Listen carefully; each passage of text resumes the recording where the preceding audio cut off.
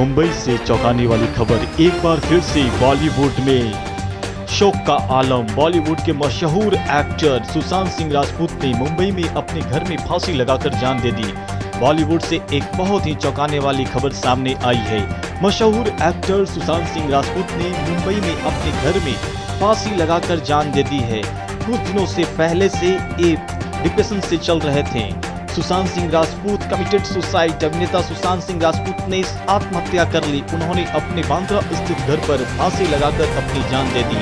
Mumbai police मौके पर जाँच के लिए पहुँची है। फ़िलहाल उनकी आत्महत्या की वजह सामने नहीं आई है। अभिनेता की आत्महत्या की खबर सबसे पहले पुलिस को उनके नौकर ने फ़ोन पर दी। सुशांत सिंह राजपूत बॉलीवुड के चर्चित युवा अभिनेताओं में शुमार किए जाते हैं।